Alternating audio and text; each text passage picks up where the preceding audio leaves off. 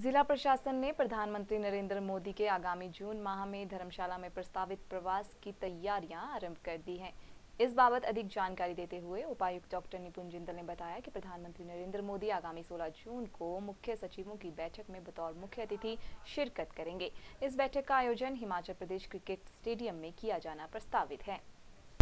देखिए इस समय हमारे पास जो नेक्स्ट मंथ के लिए जो विजिट्स लाइंड अप हैं वो ऑनरेबल प्राइम मिनिस्टर यहाँ पे विज़िट करेंगे 16 से 18 जून के लिए और पहली बार देश के अंदर जितने भी आ, हमारे प्रदेश हैं उनके मुख्य सचिवों की एक रिव्यू मीटिंग माननीय प्रधानमंत्री महोदय उसको चेयर करेंगे और ये 16 से 18 प्रस्तावित है और इसके लिए एक हाई लेवल जो डेलीगेशन है नीति आयोग का वो पिछले रविवार यहाँ पे ऑलरेडी जो सारी चीज़ों की असेसमेंट है वो कर चुका है और हमें नीति आयोग से अब कम्युनिकेशन भी आ गई है कि धर्मशाला को ही उन्होंने फाइनल किया है और इसके लिए जो एडवांस सिक्योरिटी लाइजन एसपीजी के साथ और साथ ही साथ नीति आयोग की दूसरी टीम भी अब बाईस तेईस को धर्मशाला के अंदर आ रही है। बाकी सभी जो डिटेल्स हैं उनको फाइनलाइज करने।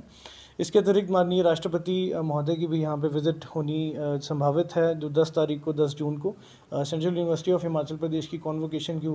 एक, के उपलक्ष्य में उसको प्रेजाइड ओवर करेंगे माननीय राष्ट्रपति। और इसके अतिरिक्त जी ट्वेंटी जो ग्रुप ऑफ़ ट्वेंटी कंट्रीज़ हैं ये भी थर्टी थ्री जो वेन्यूज़ हैं उन्होंने अगले साल की जो जी ट्वेंटी की समिट है, उसके लिए फाइनलाइज किए हैं। पूरे प्रदेश पूरे देश भर के अंदर और उसके अंदर धर्मशाला भी एक वेन्यू है और उसके लिए भी एक हाई लेवल जो डेलीगेशन है मिनिस्ट्री ऑफ़ एक्सटर्नल अफेयर्स से